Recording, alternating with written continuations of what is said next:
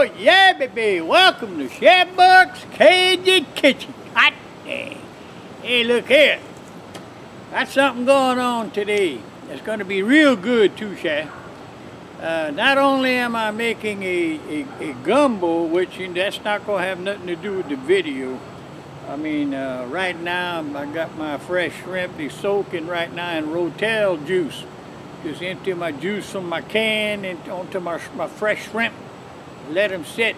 I'm gonna let them sit about six hours to get that juice in there before I put that in my gumbo. Anyway, that's the second thing there. You know, that, that's something else. You know. Uh, I'd like to uh, I'd like to introduce one of my friends here that sent me this old drive shaft Drew. Uh, y'all get out there on, on YouTube and check him out. And also on Facebook, Drive Shaft Drew. He is awesome. Let me tell you what, he's been one of my followers for a long time. And uh, he's terrific. Check him out. Thank you, guy. He sent me this little sticker, and guess what? It's going on my computer, so I don't forget him. He's real cool. Right now, I need a good old Schlitz. Yeah, yeah. Got a little Bourque Cajun Secret Seasoning from my friend Lanny and uh, Brittany Bourque. Hey, look. You got some good products. I was going to boil some shrimp today with the shrimp ball, seafood boil, but I decided, I said, well, I'm I'm in the mood for gumbo, you know, which I'm going to do the shrimp and chicken gumbo and sausage and all kind of little things I throw in my pot, you know. Show y'all one day. Ah, hell okra. I'm going to throw a little okra in there. Today's video, it's all about Boxiki silicone baking pans, non-stick. And let me tell you what, this one here, this is awesome. It's got a steel rim. And look, let me take this off so you can see what I'm talking about. Look here. See how nice that is? That just folds all over. And guess what? I just baked a cake in one of these a while ago. Put it in the oven. No, don't need no oil or nothing. Just put, well, you'll see. So today I'm making an upside down cake. I'm making a chocolate upside down cake but there's a little bit more to it than that. So check out the video, Shy, and enjoy yourself. Right now, I got to get my little sweat out my eyes. Okay, talk to you later, Shy. Let's go bake a cake. Oh, yeah. One other thing.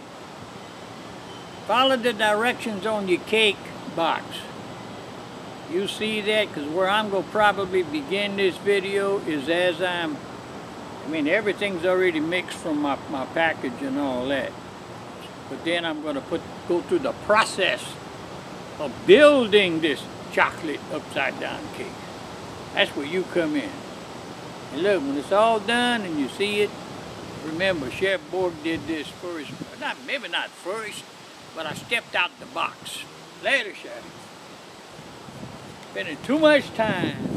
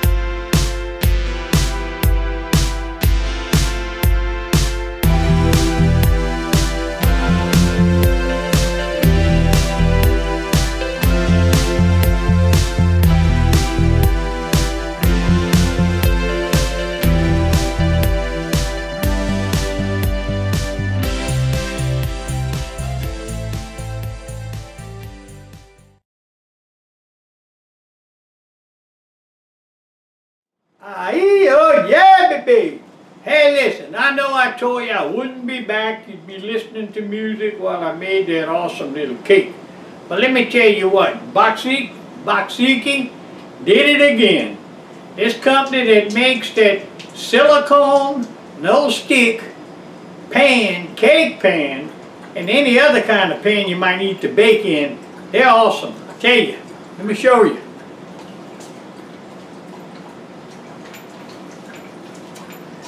Now this here looks good, eh? That's my strawberry chocolate upside down cake.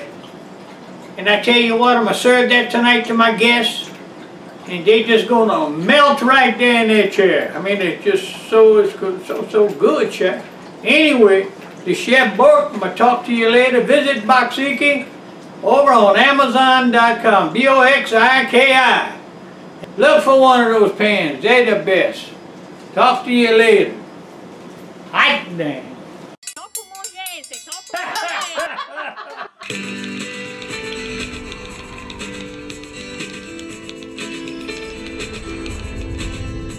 Don't forget to subscribe and you got your thumbs up.